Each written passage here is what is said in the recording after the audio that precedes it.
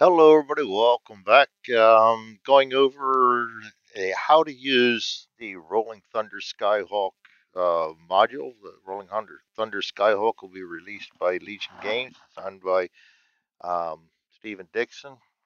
Um, I kept this kind of simple, uh, but it does have some bells and whistles in it, so we'll go over that briefly. Uh, as always, uh, start about 75%. The uh, map will uh, blow up. I like to show off the artwork that uh, these guys put into these games, make it worth their while.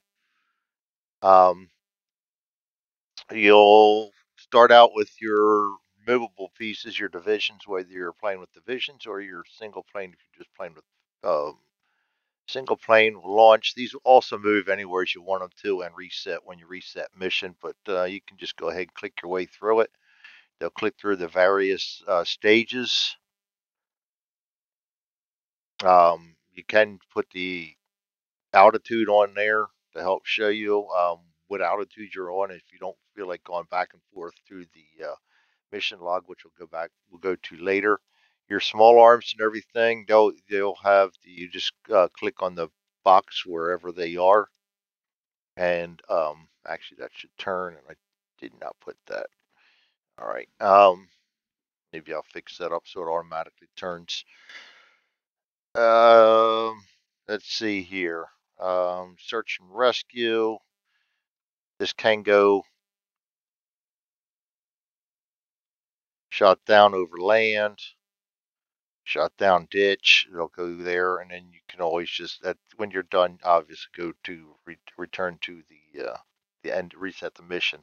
Not a whole lot to that. Your target come over here and you're going to hit this. I may put something in there to remind you that that's where the target button is, uh, just to keep things simple.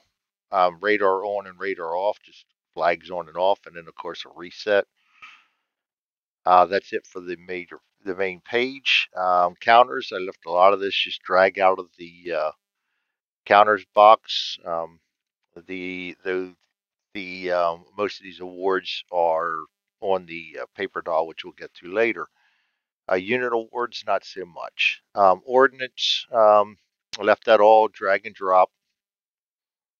Uh, all your Skyhawks, drag and drop. All your pilots, drag and drop.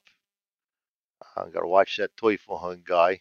And they have the open face mask or closed face mask because um, they're available in the game. So put, I put everything in there that's available and your optional markers for your down pilots, your uh, A1 Skyraider, your Rescue Chopper, your Tonkin Gulf. Not really a, a uh, optional, but uh, and maintenance skill level. These two you really don't need because they're on here. Your maintenance skill level is over here.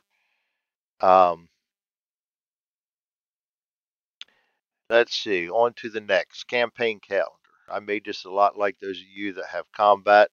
Know, uh, have seen my combat module. You know what the campaign calendars like in there. I've done the same thing here.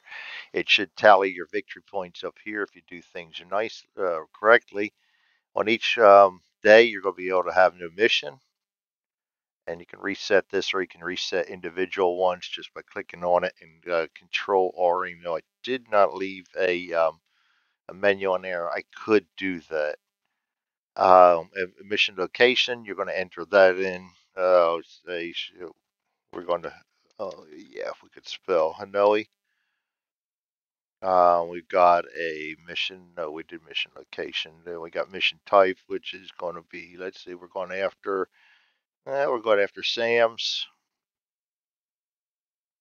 Route package, say we're on route package four or five.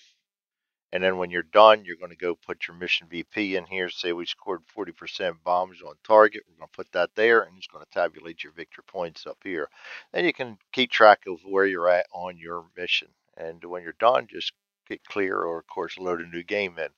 Uh, the blue is one campaign, the blue underlined, red is the other campaign underlined. I've grayed out everything that doesn't uh, apply. Calendar is, again, um, zoomable, unzoomable, and you can take a screenshot of it at any time. Rename that whatever you want PNG. Uh, we go on to your division record sheet where you keep track of your division loadouts. Now there are two of these, so you can have four divisions. flying at one time. These also clear easily, um, though will not clear the name. So if I put a name in here, um, you'll have to clear that out on your own. Boom. Uh, keep a track of the wounds and the hits and the loadouts. I have the loadouts gone by um, uh, selectable lists. Should have everything included in there. If it says up to six, I've got up to six loaded in here, so you can go through and select everything that you got for that loadout. Those will clear out at the end of the mission. That's the division uh, worksheets. We go to the ordnance card. Really nothing special on this. You're going to use the division, uh, the the load card. You're just going to drag the pieces out as you get to them. Ordnance over here. You don't want to put a um, bullpup in there. You're going to put a bullpup in there. It's just simple drag and drop. And when you're done, just hit clear ordnance. It'll clear out your loadout. Um, next up is the mission record. Uh, you're going to have your pilot. You're going to draw your pilot counter over from your pieces. Pilot rating, um, that's automatic. That will not do anything special. Reset that goes down to the air wounds. All this stuff is either right click or left click. Left click is going to automatically do it. Altitude, I told you on the main page, you can keep track of that here as you would in the real game. Um, everything else, you just go through and select it. If you have damage,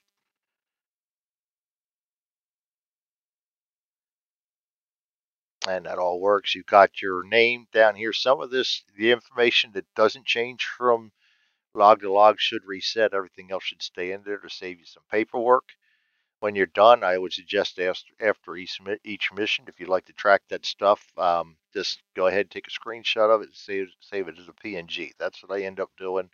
So I can go back and look to see what I've done in missions past. And um, rather to keep a physical log around or have 40 different sheets in here that you got to keep track of. I just I, that's the way I've been doing my uh, keeps the module size down and keeps the I, I, obviously the um, assembly of the module uh, time down too.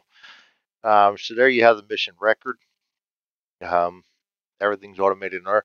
Lots of room for notes. I filled up all the spaces and notes so you can keep lots of notes if you so desire. Um, division squadron assignment card where you'll draw your pilots and your your planes. Um, just nothing special there, just drag and drop. And the paper doll. Paper doll is next. Um, as you get the medals, you're going to go ahead and just click on this and do to uh, add the counter. Tonkin Gulf, you get that right away. Um, reset the awards, clears all them out. Quite simple. Um, if you get a group award, just drag it onto the sheet from the pieces. Um, next up, um, I did not update this. I think it's the same. I will update that. That's going to probably change. One thing I did forget to do. Things have been a little busy here lately. Campaign record sheet.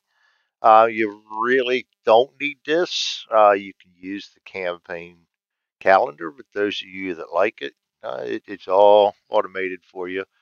Added, enter the date, enter the targets, enter the types, route packages, um, your results on and on and off and enter both on the same one as I did in combat with the uh, weapon skills and everything, and then your total points over here. Um, so you have your logs if you need them. Uh, next up is the pilot roster for your campaign sheet. That is fully fillable too. And um, uh, that's there to be used. And again, I suggest if you want to keep track of things as you go, just save it as PNG as you before you make changes. Uh, reset mission obviously just sends all the pieces back to where they belong. Quite simple. I kept this one simple. Not a lot of uh, bells and whistles to it. And um, I hope you enjoyed. I really like this game. I was part of the testing of it. It's a, it's a great game, fun to play quick play. You get it down, you can knock a mission or two out, especially with Vassal. You don't have to worry about setting things up, knocking them down. Um, you can run a campaign through at your leisure, and um, really a fun game to play. Thanks everybody for joining me. That is Skyhawk, uh, actually Rolling Thunder Skyhawk by Legion Games, designed by Stephen Dixon. I hope you all have a great day. Thanks for joining me.